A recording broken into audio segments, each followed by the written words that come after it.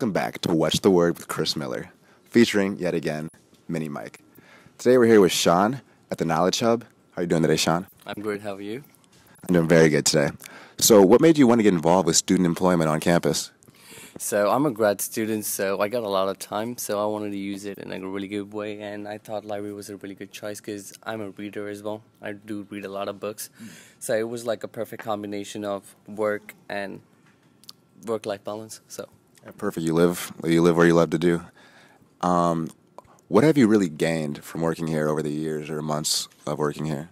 So I've been here for like a year. So I get to meet a lot of different people and I get to help a lot of different people with a lot of different research activities, starting from computer, um, uh, writing, and biology. So I get to meet a lot of different people with different majors and talk to them and get information.